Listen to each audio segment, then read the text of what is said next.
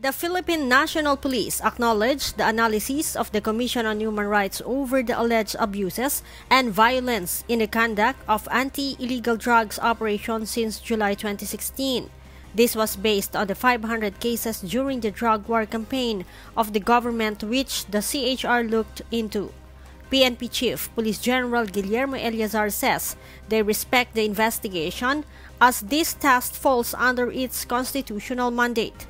But the main reason behind the investigation conducted by the CHR is the same reason why we coordinated with the Department of Justice for the review of the police operations relating to the campaign against illegal drugs. Based on the report, only 11 survived out of the 466 individuals who allegedly resisted arrest during police operations. The CHR also stressed that 87 victims had mostly multiple gunshot wounds on different parts of the body. Eleazar says they also want to know the truth on the allegations. We in the Philippine National Police would also want to know the truth because these allegations of human rights and extrajudicial killings that have been hounding us in more than five years have resulted in sweeping generalization that all our operations against illegal drugs are tainted with abuses.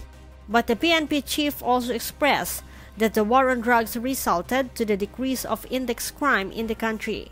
This is unfair to a number of our operatives who have died and were wounded in the conduct operations and this grossly ignores the fact that the efforts and sacrifices of our men on the ground have resulted in the unprecedented reduction of index crimes across the country.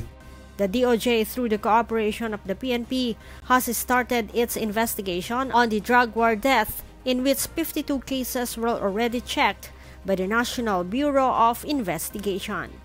Leia Ilagan, UNTV, News and Rescue. We serve the people, we give glory to God.